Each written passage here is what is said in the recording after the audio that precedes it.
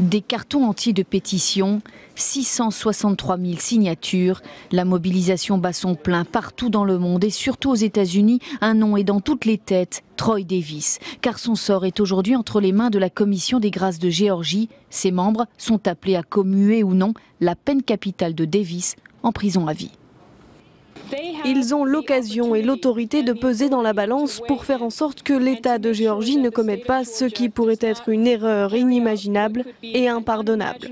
L'inimaginable, l'impardonnable, l'exécution de Troy Davis mercredi 19h à la prison de Jackson. Car pour beaucoup, trop de doutes planent. À 42 ans, Troy Davis a passé 20 ans dans le couloir de la mort. Accusé d'avoir tué un policier blanc en 1989 à Savannah, il a toujours clamé son innocence. La plupart des témoins se sont rétractés depuis. L'arme du crime n'a jamais été retrouvée. À trois reprises, il a échappé à la peine de mort, des sursis qui ont fait de lui le condamné le plus célèbre d'Amérique, soutenu entre autres par le pape Benoît XVI et Jimmy Carter.